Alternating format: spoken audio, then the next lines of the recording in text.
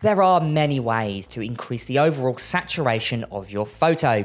You've obviously got the vibrant slider and you've also got the saturation slider, but I think there's a better way, a more natural way to intensify the colors within your photo. And today we're going to be using Lightroom Classic.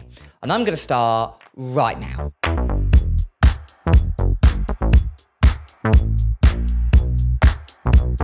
So like I was saying, there are many tools to overall increase and intensify the colors, but a lot of people overlook the calibration tool.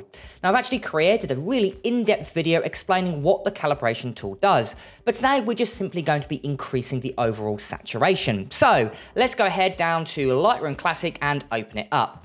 Now what you want to do is head over to the develop panel and then on the right hand side you want to drop down all the way to where you can see it says calibration. Now calibration is split into two parts. Firstly you've got your shadows, so your tint, but the part that we want to focus on is the red, green and blue primaries. Now it really depends on what photo you're working on. In this particular case, we're working on a complementary color scheme. We've got green on the bottom and we've got blue on the top. So these are the two primary colors that we want to saturate or increase the saturation. So what we're gonna do is we're simply go to the green primaries here and as you can see there is a saturation slider.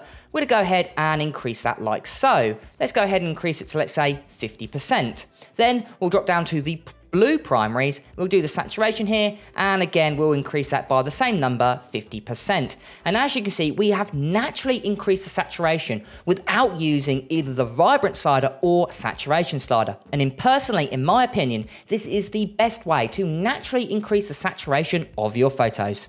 Here is the before of the original photo, and here is the after by increasing saturation using the calibration sliders.